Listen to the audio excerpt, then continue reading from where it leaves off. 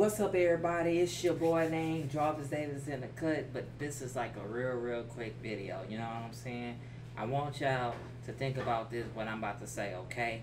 Always stay positive. Stay away from negative people. Always keep God in your life. It's very important. The number one thing is God. You know what I'm saying? God is the number one priority that you need to be focusing on.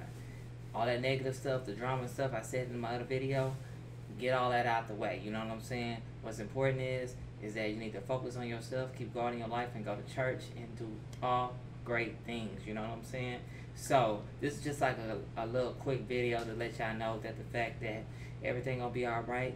Always stay positive, stay focused, keep your mindset um, positive with good things and stuff like that. And um, yeah, and keep your family close, the good ones. Okay. At least that's being said, I am out.